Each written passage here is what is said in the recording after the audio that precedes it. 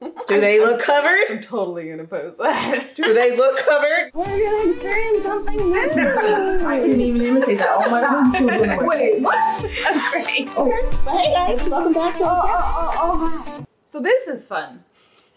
Um, Demitri, thank you so much for hanging in there, my friend. You were commenting on YouTube, you hit me up on Instagram, and then finally you were like, you know what, I know what I need to do. And you jumped on Patreon, and you were like, all right, you need to watch this. So we are going to watch Motionless in White. Uh, that is what Demitri wanted us to check out, and we're going to see Immaculate Misconception. Oh. Yes, this is going to be fun. So, Motionless in White, heavy metal band from Scranton. Uh, they were formed in 2005. There's five members, and it sounds, from what I was seeing, it sounds like a lot of their music is like controversial, and particularly the one that we're going to check out. A lot of people have a problem with, which is why I'm excited to watch. Oh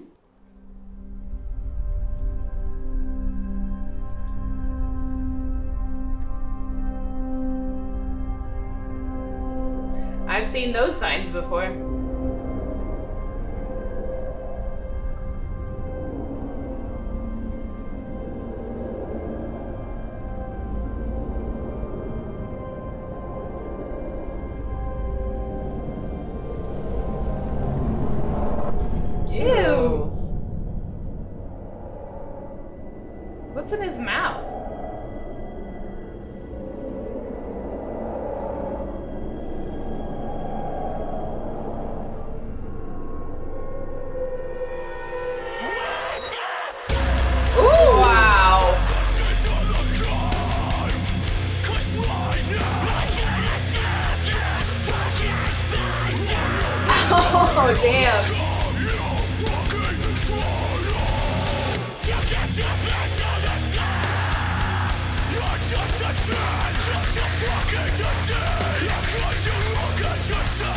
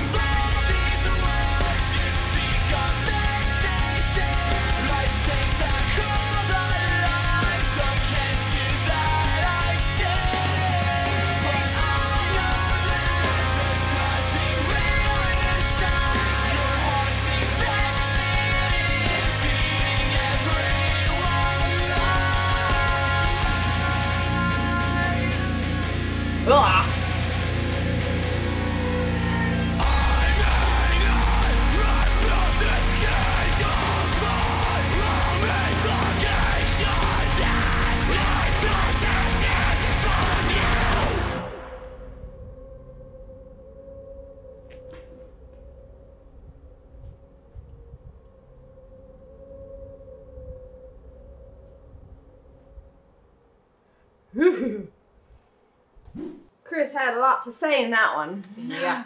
Wow. Open your mind before you open your mouth. Does he say fucking mouth? Open your mind before you open your fucking mouth. That's Makes wow. sense.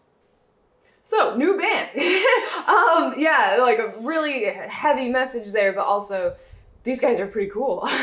I yeah, I'm liking this. It sounds more like I mean, obviously I, I heard the still I mean the, the parts where he wasn't growling sounded more like a rock song to me. Well, the the so yeah, so I was gonna mention in the chorus, it was very rock, like you know, and, and I was actually gonna say it sounded very much like the rock I grew up Mm. hearing. Yeah. You know, so so it felt very familiar, and I really liked his voice.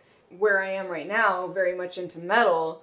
Like it was a very cool mix for for Mm. me, you know, like to kind of bring those two things together. So yeah, yeah, that's exactly. I was gonna say the exact same thing.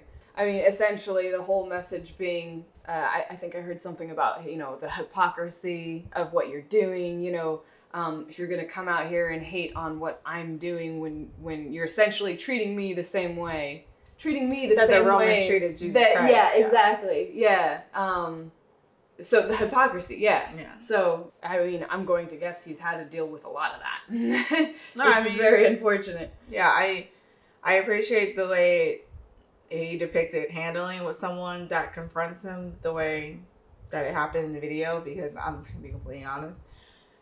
Despite Corona and COVID, whatever, from last year, but if you get in my face yelling and then you spit on me, Oh my god. um, I'm not gonna just tackle you to the ground. Like that's assault to me. So we're fighting. Right. Like I would literally punch you in the face if you spit on me like that. Like that is so dig- so disgusting and degrading.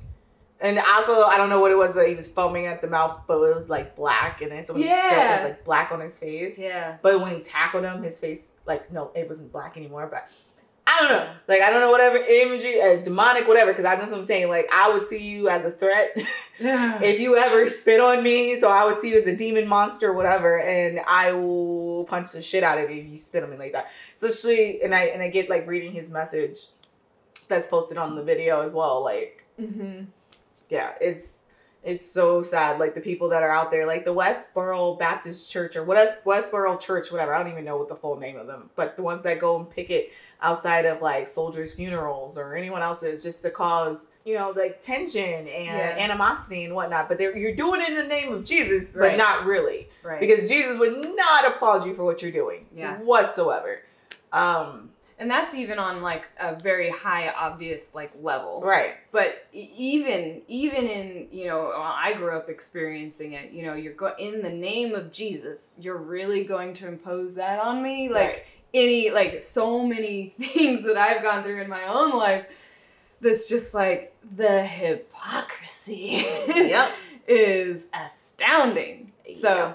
It just blows my mind the people that are the ones that are on the forefront of like trying to hold up the bible and be like you need to follow this jesus and christianity uh-huh. and all this all this stuff are the main ones that don't really understand what the bible means and like the words that are actually written like they're the ones that are the most ignorant of the actual message of it and that's the part that gets me the most mm. if we're supposed to love everyone Right. and that is what the Bible's supposed to t- teach you. Is like Jesus told you to le- love everyone. How do you think it's possible that it's okay to go about anyone that's different from you, anyone that's you know trying to live a different life, da da da, that you're supposed to treat them like the enemy? If you're supposed to love everyone, you're supposed Right. to love them.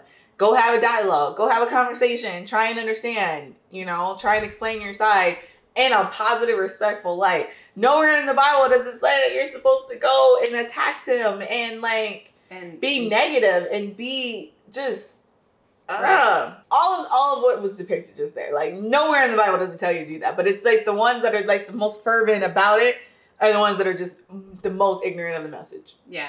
Which again, obviously the hypocrisy and all that. That's all I wanted to say. Hypocrisy. Yes. Thank you so much, Demetria, for recommending this. Yeah. Definitely. Yeah, and I like I said, I really like this sound, so uh, definitely a band that I'm going to investigate further. Yes. Jump in the comments, guys. Uh, tell us what you know about about this band. Uh, like, comment, subscribe. Check us out on Patreon. Like Demitri, you can jump in there and insist that we take a look at any particular band, any particular genre. We also got blocked videos and behind the scenes on Patreon. So, thank you guys so much for watching.